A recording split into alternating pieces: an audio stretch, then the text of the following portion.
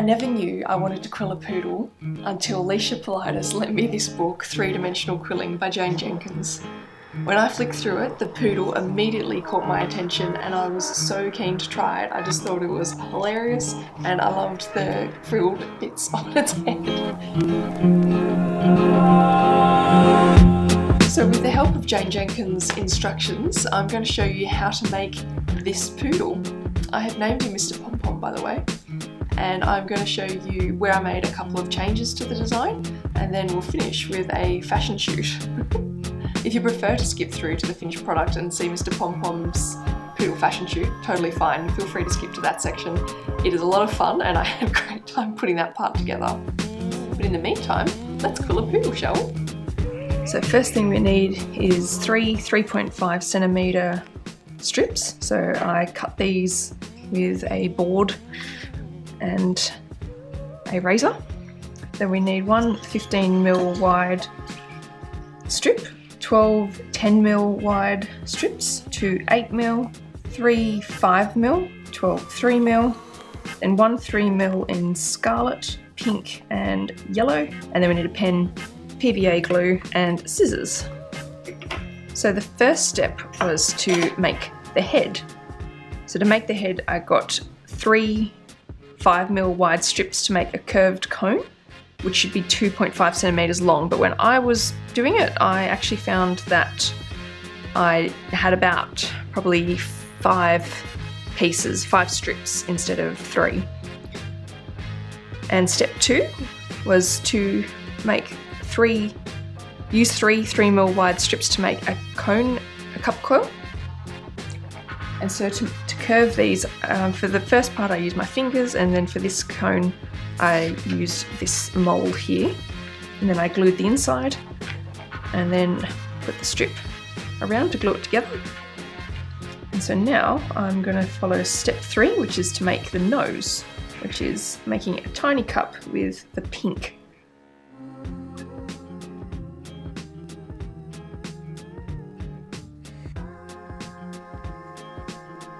Step four is to make the neck roll a 15 mil, so until its diameter, it has a diameter of 7 mil.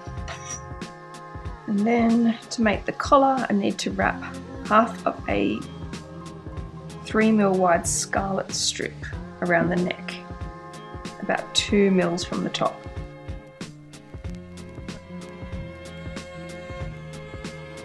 Alrighty, so that's step four done. Now it looks like we have a bit of a neck going on, which is good. And step five, to make the medallion, use half a 2mm wide deep yellow strip to make a solid coil. Glue this to the neck just below the collar. Probably using way too much glue, but that's okay. So there's the neck. Step 6. To make the body, roll enough 3.5mm strips around a pencil to make a ring coil 15 mils in diameter. This is making me really realise how unevenly I cut these strips.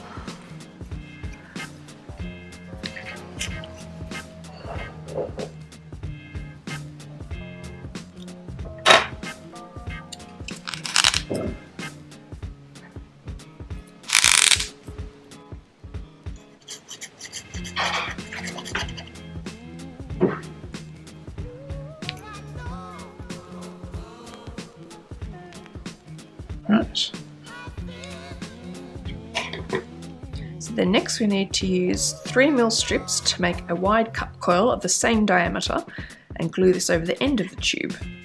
So the diameter is closer to 2 centimeters, so it might require more than this, but let's see how we go.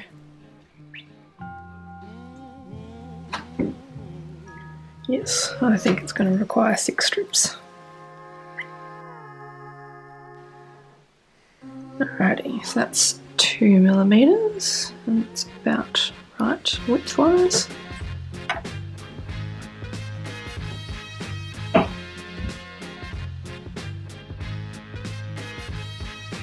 So that was seven pieces, so I'm going to get another seven.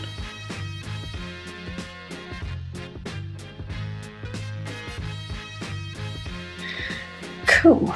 And so then we want to make that a dome shape. That it's sort of like his bottom. Maybe that size. Maybe even that size.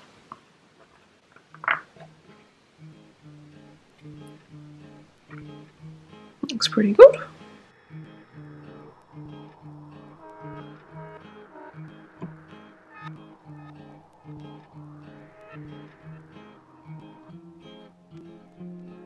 Fits perfectly. Gosh. I'm pretty happy with that. Except that one needs to be a bit more dome shaped. That's a bit better. Yeah, that's better. Whoops.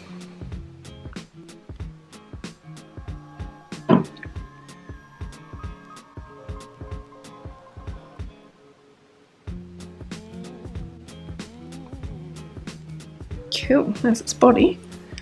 So now, glue the head, neck and body together. Here we go, this will be interesting. Hmm. I might do that once I've had a bit of a chance to dry, so I might actually get onto the tail.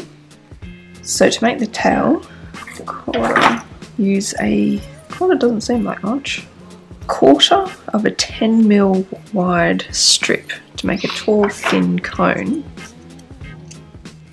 3.5 centimeters long.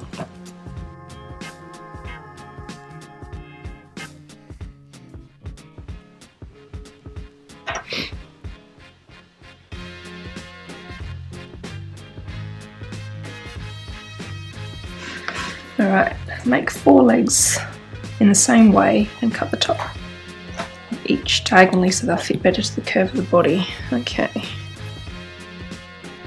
Hmm. I don't think that's working very well, so I'm going to do half a strip each. Because otherwise they're not going to be strong enough.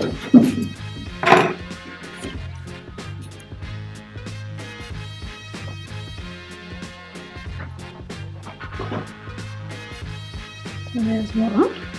Step 10 says finely fringe an 8mm wide strip and divide it into four. So that first sentence, finely fringe an 8mm strip, uh, is easier when you have a paper stripper, which I do not. So instead I am going to, as carefully as possible, try and fringe without cutting through. And considering this is like the feature of the poodle, I probably should have thought about this before I started doing it. Now, well, let me see how we go. I think I will actually invest in a paper fringer because I can see the benefit right now. So it'll be fringed, but not finely fringed. Alright, so it says glue one fringed piece around the pointed end of a leg and wrap it as tightly as possible. Glue down the end and coat the base of the foot with glue. Alrighty.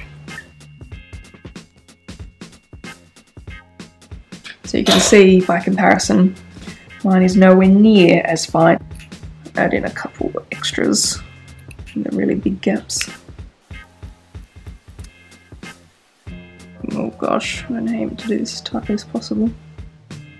Alright, that's as good as I can get it I think.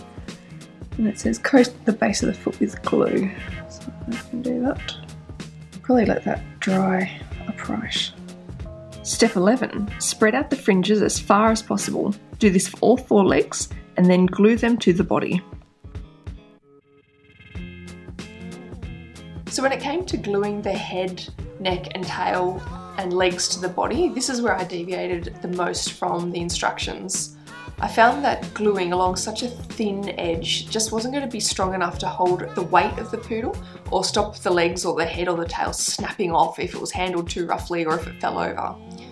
So what I ended up doing was I reinforced these joins with additional strips of paper.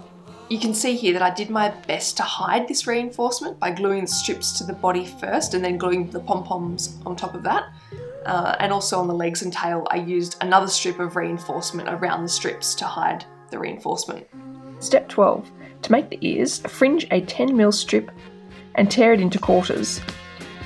Make a pom-pom out of each and glue two on each side of the head. Step 13, make two more of these pom-poms exactly the same and glue them either side of the tail tip. And step 14, fringe a 10mm wide full length strip and make it into a pom-pom to be placed on the dog's shoulder. You need one for each side. Step 15, make two smaller pom-poms in the same way for the dog's hips, this time using half-length strips. Step 16, fringe a half-length 15mm wide strip and roll it up tightly. Glue this to the top of the poodle's head, then spread out the fringes a little. Because I used a quilling tool for this project, all of my coil centre holes are quite big. And I don't mind it too much, um, so you can see them here. But just to add a little glitz and to hide one of the holes, I added a diamante to Mr. Pom Pom's collar.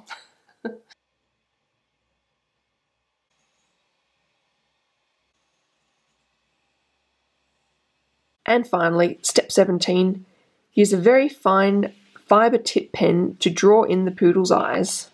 The last change I made to Mr. Pom Pom was instead of drawing on eyelids with a black pen, I decided to use small googly eyes. Once these were dry, Mr. Pom Pom was ready for his fashion shoot.